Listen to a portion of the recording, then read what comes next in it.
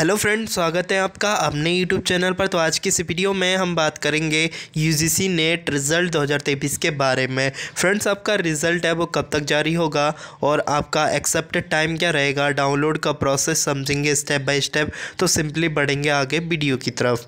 Friends, आपको बता दें, आपकी यूजीसी नेट के आंसर की है, वो 25 मार्च को रिलीज़ की गई थी और रिज़ल्ट की ऑफिशियल डेट अनाउंस हो चुकी है। आपका रिज़ल्ट है, वो 19 अप्रैल 2023 को रिलीज़ होगा। बाकी रिज़ल्ट जब भी जारी होगा तो आपको चेक कैसे करना है तो उसके लिए सबसे पहले आपको ऑफिशियल वेबसाइट पर जाना है।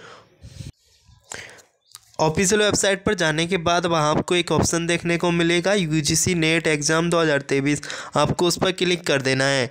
जैसे आप उस पर क्लिक करोगे तो एक विंडो ओपन हो जाएगी, जिसमें आपको आपसे अपनी डिटेल्स मांगी जाएगी। जैसा कि एग्जामिनी एग्जामिनेशन रोल नंबर और योर डेट ऑफ़ बर्थ आपकी जो भी डेट ऑफ़ बर्थ है, उसे फिल कर देना है। देन और सिक्योरिटी पिन को इंटर कर देना है। देन सबमिट कर देना है।